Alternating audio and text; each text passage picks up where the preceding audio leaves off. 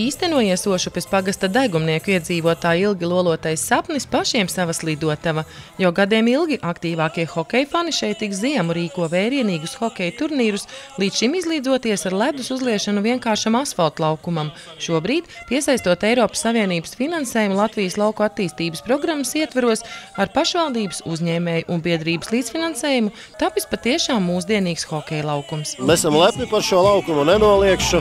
Šis mums uh, tuvākajā apkaimē ir eh, pirmais laukums, kurš ir eh, šādā kvalitātē, kurš ir plastikāta bortiem un ar pilno metāla konstrukciju.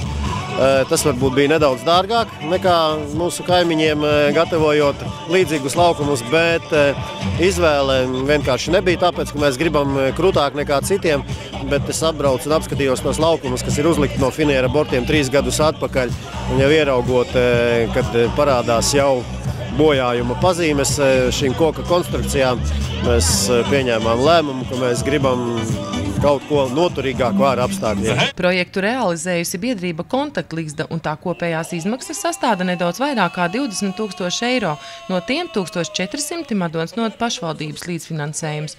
Kā uzsver projekta īstenotāji, laukuma tapšanā aktīvi iesaistījušies arī vietēji iedzīvotāji, netaupot nec savus spēkus, nec pašu līdzekļus, tā radot vēl vienu būtisku iespēju aktīvam un veselīgam dzīvesveidam nevien pašiem pagasta ļaudīm, bet reģionam kopumā. Es vairāk priecājos par to, ka tā ir paša cilvēku iniciatīva, vietējo cilvēku iniciatīva, un e, tas ir daudz vērtīgāks tas, ko mēs varbūt nopērkam, iedodam kā gatavu, bet ja paši cilvēki izsapņo, uzraksta projektu un paši arī realizē. Neskaitot virkni citu materiālu, izlietots vairāk kā 2000 tērauda skrūju un divas pakas metināšanas stieņu. Strādāts no sirds un domājot par laukuma teritorijas maksimālu izmantošanu, tas veidots uz smilšu seguma pamata, līdz ar to vasarā tiks izmantots kā pludmales futbola laukums, bet ziemā publiski un brīvi pieejamais lidotavai un jau par tradīciju kļuvušajiem hokeja turnīriem. Mums ir diezgan jau stabils un populārs eh, hokeja turnīrs, Eh, un tās ir divas dienas nedēļā, kad mums ir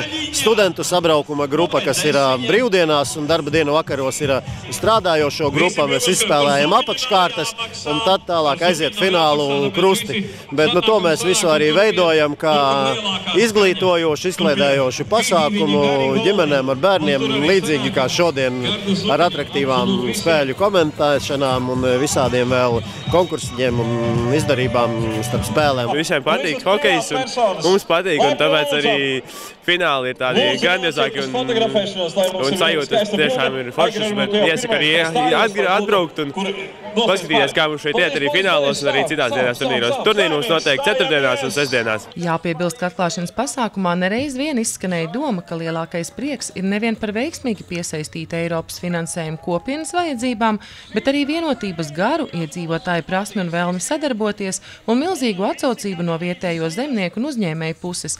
To apliecināja vesela virkne liela draugu un atbalstītāju, kam kā paldies tika dāvinātas īstas hokeja ripas ar pateicības vārdiem un apziņu. Kopā mēs varam, mums izdosies!